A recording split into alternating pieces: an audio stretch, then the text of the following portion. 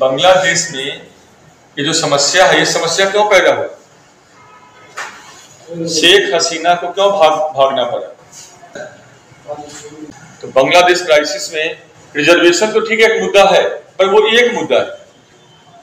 Reservation पूरा मुद्दा नहीं। मुद्दा में इकोनॉमिक पॉलिसी का भी योगदान है, उस मुद्दा में जीडीपी का जो आंकड़ा है, उसका भी योगदान है।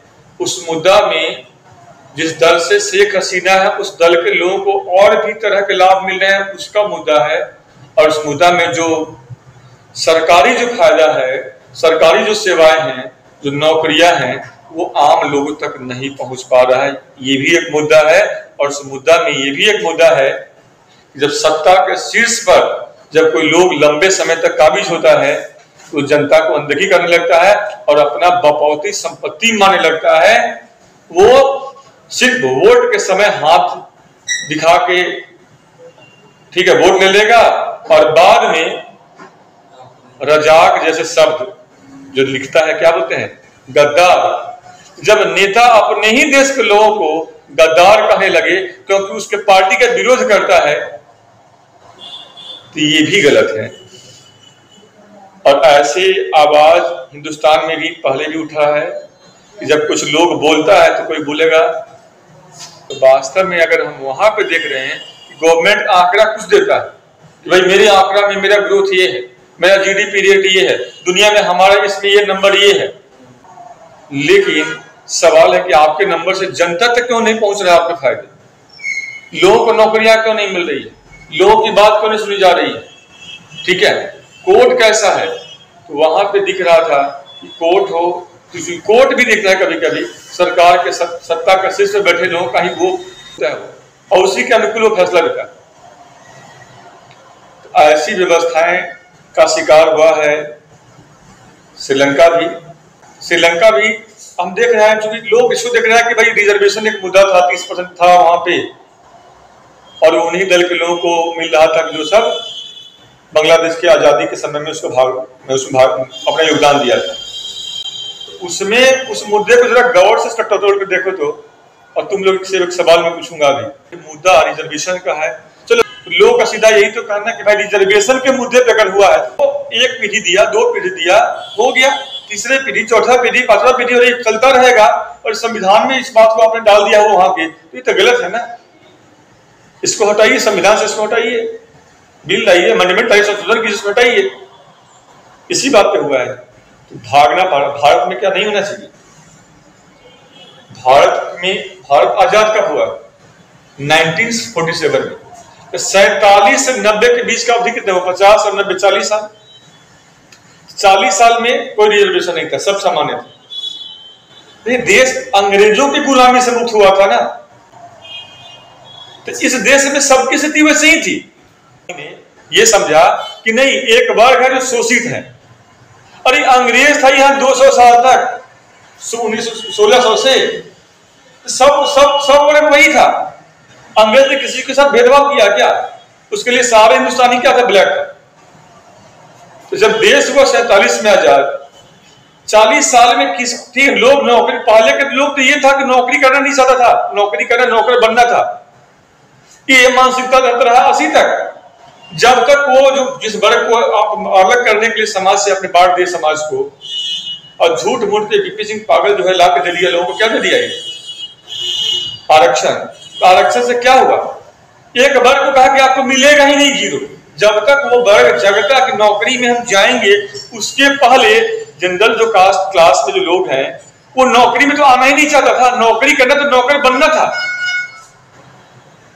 और जब तक वो समझे समझे, तब तक सरकार ने कहा कि आपको आधार आरक्षण नहीं देंगे और अब जो नया नया सरकार है, क्षेत्रीय पार्टी सभी स्टेट में तो वो सब क्या कहते हम साठ परसेंट देंगे तो हम सत्तर परसेंट तुम सौ परसेंट दे लो ये कहा दो कि नौकरी नहीं देंगे। अरे जब आरक्षण भी जब दिए थे तो चलो ठीक है, एक समय के लिए। एक बात बताओ, कितने पीढ़ी को दोगे? जिसको नब्बे में मिला होगा नौकरी, इक्यानवे में जो आई बना बानवे में जो आई बना, पंचानवे में जो आई बना, आरक्षण से तो आई तो बन गया। तो नब्बे से लेकर के, अब उसके बच्चे भी वो होंगे, पंचानवे, जो नब्बे में बना, उसके बच्चे इक्यानवे बानवे तिरानवे बच्चे भी वो होंगे। तो बच्चे भी बानवे वाला बच्चे 2012 आते थे तो भी आई बन गए, तेरह तो चौदह तक। तो चौबीस में फिर क्या करे आरक्षण ये? तो क्या आरक्षण हटना चाहिए नहीं? क्या तीन तीन पीढ़ी को आरक्षण चार चार पीढ़ी को दोगे? तो इसका मतलब है, समानता के लिए आरक्षण लाए थे ना? तो ये तो असमानता को पैदा कर देगा। पर ये ऐसा मुद्दा किसमें जो बोलेगा, उसको फांसी पे लटका देगा। मैं बोल रहा हूँ, कल मेरा ही सब गला काट डाले आरक्षण रहना चाहिए, अब कि नहीं रहना चाहिए, बताओ भारत में। भाई, आरक्षण लाया था, क्योंकि लड़ा असमानता है। जबकि जो कि था नहीं वास्तव में। जो कि था नहीं वास्तव में। चलो एक वर्ग को उठाने के लिए लाए, अगर आप एस सी एस टी कहीं कह रहे हो तो उसको उठाने के लिए लाए तो लाए, पर कितना पीढ़ी तक? ये तय करना होगा ना। एक पीढ़ी की, दो पीढ़ी की, तीन पीढ़ी की, पूरा यही चलते रहेगा। और नहीं तो क्या होगा? जो दूसरा जो जनरल क्लास है, वो अब चला गया सी एस टी के स्तर पे आ गया है? तो आप आप ये तय कर लो ना कि भाई दो पीढ़ी आपको मिलेगा, एक पीढ़ी उनको मिलेगा, फिर एक पीढ़ी आपको मिलेगा, फिर एक पीढ़ी उनको मिलेगा, ऐसे मिलते रहेगा। एक अवधि तय कर लो आरक्षण का। या तो आरक्षण को हटाओ। तो क्या भारत से आरक्षण नहीं हटना चाहिए? और आरक्षण नहीं है तो सरकार हटना चाहिए हटना चाहिए? बताओ। आरक्षण अगर नहीं हटता तो यहाँ भी सरकार हटना चाहिए। वो ठीक नहीं बढ़ा दिया जी। और क्या? नया नया नया ठीक है, देखो। दस परसेंट आपको भी देंगे। अरे किसमें दोगे? सौ में ठीक है, पचास परसेंट उधर साठ कर दिया। और दस आपको भी देंगे। लोग समझ ही नहीं आता लोगों खेला ऊपर भी ऊपर हो जाता। ठीक है, ले दे करके इससे समाज बटा और एक नया व्यवस्था क्या हम लोग करें? जाति आधारित जनगणना।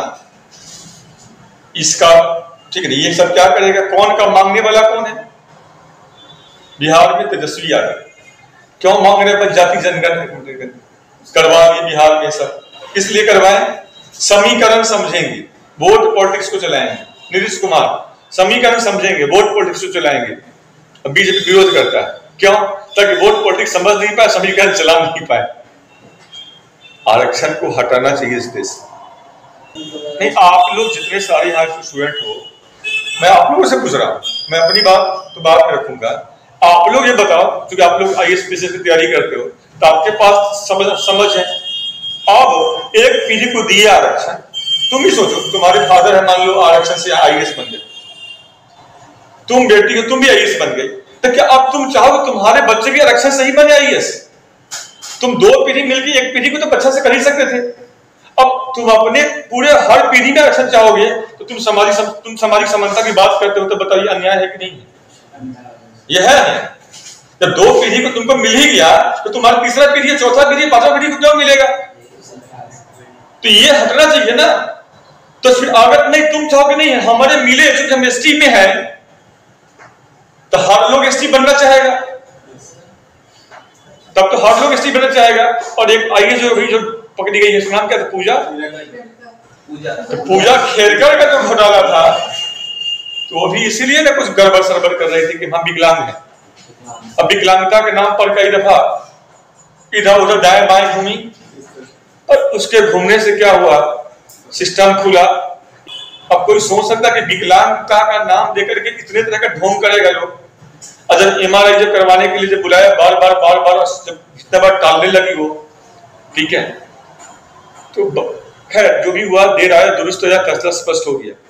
तो आप लोग बताओ सामाजिक असमानता था तो समानता के लिए आरक्षण लाया था। लेकिन जब ये आरक्षण फिर से बहुत बड़ा असमानता पैदा करने लगे तो वैसे आरक्षण क्या करना चाहिए?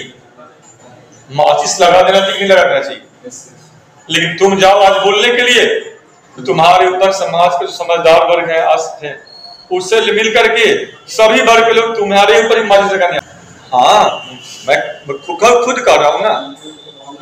और सरकार ने इसी आरक्षण जैसे ही आया, ये तो याद होगा, आरक्षण लाने वाला कौन है? विश्वनाथ प्रताप सिंह। और उसी समय 91 में मनमोहन सिंह ने क्या किया? आरक्षण के प्रभाव से सामान्य लोगों को बचाने के लिए क्या कर लिया वो? ले आया ग्लोबलाइजेशन प्राइवेटाइजेशन और नतीजा क्या हुआ? देश में जो भी संस्थाएँ हैं धीमे धीमे प्राइवेटाइज हुआ। ग्लोबलाइज हुआ। और नहीं तो आज अब बहुत पहले ये दंगे होना शुरू हो गए जो आज बांग्लादेश में देखने को मिल रहा है। जनरल क्लास जो लोग था, उसको नौकरी तो मिलता नहीं। तो वो प्राइवेटाइजेशन उसका जान बचा दिया, लेकिन प्राइवेटाइजेशन और क्या किया? अब वो प्राइवेटाइजेशन के कारण हम लोग को नुकसान पहुँच रहा है। हो रहा है कि नहीं हो रहा है? संसाधनों पर एक लोगों का कब्जा होते जा रहा है। वो भी एक समस्या होते रहे। तो एक समस्या के लिए आप कई तरह तरह की समस्या को पैदा कर रहे हैं। तो ये सब समस्या देर सवेर बहुत बड़ा विवाद कारण बनेगा। तो सत्ता पे बैठा हुआ लोग है, शीर्ष बैठा हुआ लोग है, ज़मीन से टच नहीं था। हसीना से साथ यही हो रहा था जनता के जनूनी जो समस्या है, जमीनी जो समस्या है, उस समस्या वो नजरअंदाज कर रही थी, लोगों ने भगा दिया। तो क्या पता इस देश का लोग भी जरा नेताओं के चाल इस बाजीगरी को समझ जाए। और लोग अपने भी आ गया तो स्टेट से लेकर के और सेंटर तक लोगों की समस्या खड़ा हो जाए। पर इन बातों पर विचार करने की ज़रूरत है, गुस्सा और समझदारी के साथ। क्योंकि आजकल क्या है फेसबुक पे सोशल मीडिया पे बहुत सारे लोग ज्ञान देने वाला है। और ऐसे कुछ बात को अगर डाल दो, देखो लोग तुमको क्या क्या ना कहेगा। पर ये विचार नहीं है, मुद्दे इस विचार करना चाहिए। यहाँ भी लोगों को यहाँ के नेताओं को भी और यहाँ के आम लोगों को भी जो सेवा से वंचित है, उसको भी जो सेवा में है, उसको नेक्स्ट कर करो क्लोनी के बाद हम लोग ये, तुम लोग मेरे बात से सहमत नहीं हो सकता है हो भी हो। सकता है कि नहीं भी हो, ये तुम्हारा अपना पर क्या होना चाहिए? तुम लोग क्या लगता है? ऐसा रहना चाहिए कि नहीं रहना चाहिए? अगर उसका आधार क्या होना चाहिए?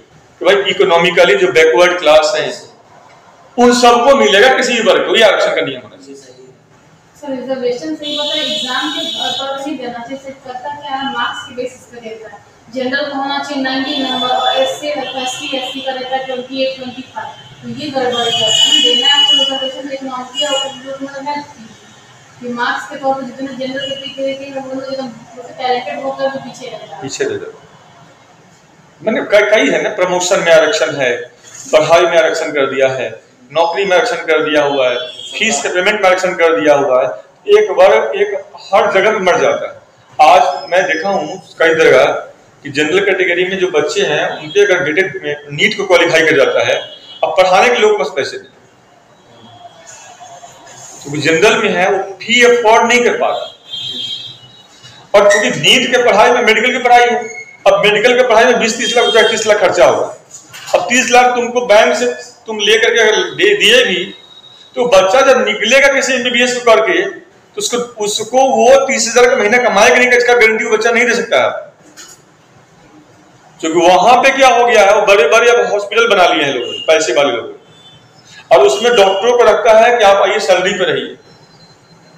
सरकार कहती है कि मेरे पास गवर्नमेंट की वैकेंसी नहीं है। प्राइवेट में जाकर काम करोगे और वहाँ महीने का बाँध देगा कि आप पचास हज़ार का महीना वो भी आप एमडी हो एमएस हो गए तब आपका पेमेंट ठीक होगा नहीं होगे तो आप जूनियर डॉक्टर बनकर घूमते फिरते रह जाओगे। कहीं पे क्लिनिक उलिनिक खोलोगे इंफ्रा नहीं इंफ्रा नहीं रहेगा आपके पास तो आपके पास वैसे ही पसंद नहीं जाएगा तो गाँव में जाकर चक्कर लगाना पड़ेगा। तो उनकी भी हालत अच्छी नहीं रह जाएगी। ठीक है। तो और इससे हाँ आरक्षण के कारण भारत के विकास का जो दर है, जो होना चाहिए गति में क्या हो गया है? बहुत धीमा प्रगति हो रहा है, क्योंकि टैलेंट हंट हुआ। तो टैलेंट हंट हम नहीं जानते। जो हुआ हुआ। जनरलाइज कर दे आप किसी को, कोई कोई कोई बाई बर्थ ब्रेन तो यूज़ का विषय है अब किसी को, इसलिए हम उसको हम खींच दे पाए कि नहीं नहीं, तुम इस परिवार से हुआ तुम्हें बुद्धि हो सकता है, तुम ठहरो, तुमको नहीं बनाएँगे, इसको डालो यहाँ पे। तुम यही अपने बुद्धि को तो पागल तो होगा ही होगा। तो जब सत्ता में बैठे लोग इतने बड़े मूर्ख, महामूर्ख सब पैदा होंगे तो उससे सोचना पड़ेगा। अग्निवीर था, इतना अच्छा। ठीक इतना अच्छा आर्मी का जॉब था। और अग्निवीर ला करके आर्मी में आग लगा दी है सरकार और आप सब पिछले पिछले इतने पिछले इतने सालों से लगातार सबको समझाने का प्रयास कर रहे हैं बहुत बढ़िया बहुत बढ़िया सब लोग बहुत बहुत बढ़िया है। अरे कौन कहेगा? कि सब जगह गधा को कहो घोड़ा है गधा। गधा कहीं घोड़ा हो जाए? घोड़ा को बना दिए गधा। आप कहो घोड़ा है घोड़ा है घोड़ा है। हाँ भाई घोड़ा है घोड़ा है।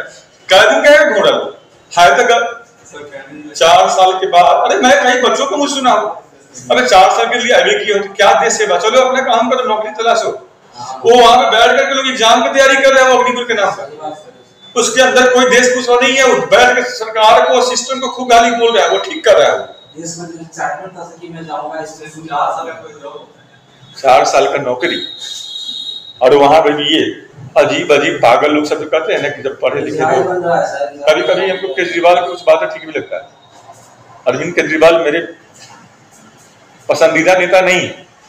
लेकिन उसकी बातें, कुछ बातें ठीक लगती हैं कि सत्ता पे काबिज लोग जो है ना, उनमें एक समझदारी भी होना चाहिए सब तरह का। एक तरफा जो है रात में सपने में भाँग, गोला खा के उठे और ये खतरा जारी कर दिए, वो वो फतवा जारी होने से नहीं होगा।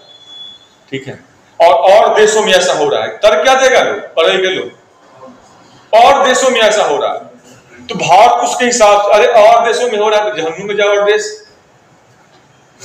हम है? और देशों में कितना शिक्षा है क्या विकास है क्या टेक्नोलॉजी है उसके हिसाब से हो रहा है। हमारे यहाँ लोग अंगूठा निफर अंगूठा छाप है अभी। करे तो अमेरिका अमेरिकन सिख। अबे उसे हिंदी तो बोलने नहीं आ रहा देहाती में तो कपड़ा नहीं पहन पा रहा है वो। और टोपी उसको अमेरिकन लगा दे रहे हो ठीक है ये कह रहा कि ठीक है खाओ पिए मत गूगल जो हम देते हैं उस, उस गूगल से देख दुनिया कहाँ जा रहे हैं। तो गूगल का चश्मा पहना करके चढ़ा दिया। तो बहुत सारी गड़बड़ी है। नेता ही नहीं चाहते देश का विकास हो। जैसे लालू यादव नहीं चाहता था कि बिहार का विकास हो।